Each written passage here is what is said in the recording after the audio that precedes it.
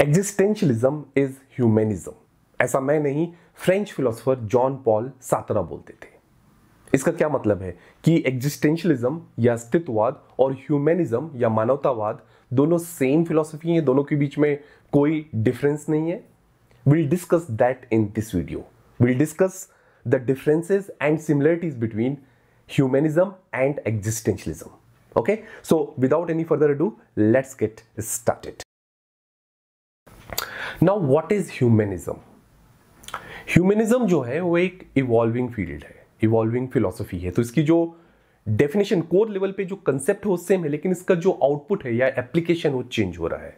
तो अगर मैं ट्वेंटी फ़र्स्ट सेंचुरी की बात करूँ तो we talk about democracy we talk about social justice social equality we talk about women empowerment ये सारे ह्यूमनिज्म के अंतर्गत आते हैं।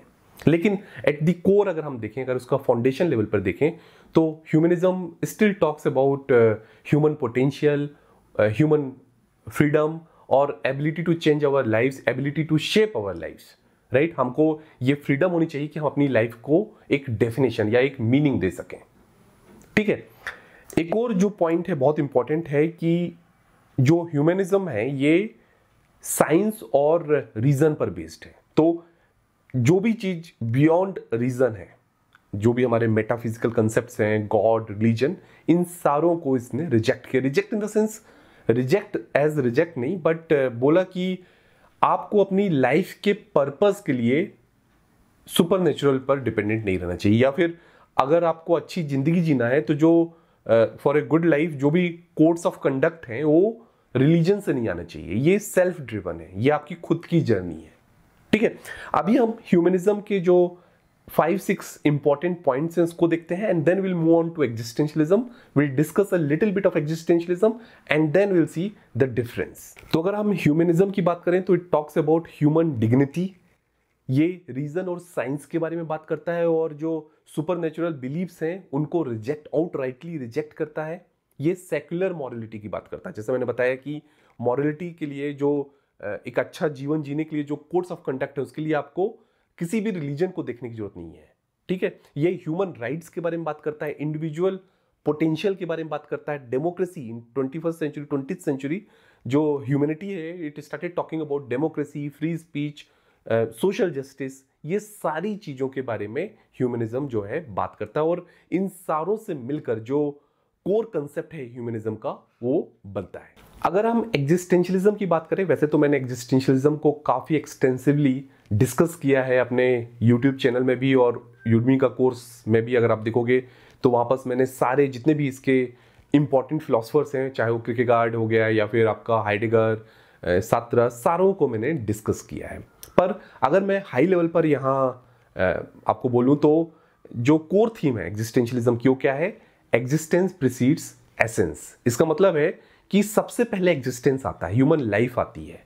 और उसके बाद सारी चीज़ें चाहे आपकी वैल्यूज़ हो एसेंस हो रिलीजन हो आपकी लाइफ का पर्पस हो जो भी है वो उसके बाद आता है। तो जब आपका जन्म होता है तो आप एक कोरा कागज़ होते हैं और उसके बाद आप खुद अपने हाथों से अपनी लाइफ का पर्पस को फिगर आउट करके वहाँ लिखते हैं। तो ये है एग्जिस्टेंशलिज्म और अगर मैं कॉमन पॉइंट्स uh, की बात करूँ दोनों में कॉमन क्या है? बहुत सारी चीज़ें कॉमन है। इनफैक्ट इतने कॉमन पॉइंट्स हैं कि आप, जैसा सात्रा ने बोला कि एग्जिस्टेंशलिज्म इज़ ह्यूमनिज्म वो गलत नहीं है, क्योंकि एग्जिस्टेंशलिज्म में भी हम ह्यूमन वैल्यू की बात करते हैं, हम ऑटोनोमी की बात करते हैं, हम फ्रीडम की बात करते हैं, और यहाँ भी बोला गया है कि लाइफ का पर्पस खोजने के लिए या आपकी लाइफ का जो पर्पस होता है, वो प्री डिफाइंड नहीं होता है। या आप उसके लिए रिलीजन या सुपर की ओर नहीं देख सकते, आपको खुद अपनी लाइफ का पर्पस डिराइव करना पड़ता है।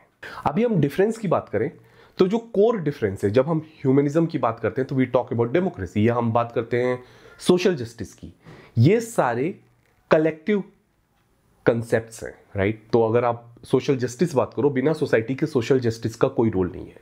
या हम एज ए सोसाइटी हमें इवॉल्व होना चाहिए ताकि हम इंडिविजुअल को फ्रीडम दे सकें, कि उसका जो मन है वो कर सके।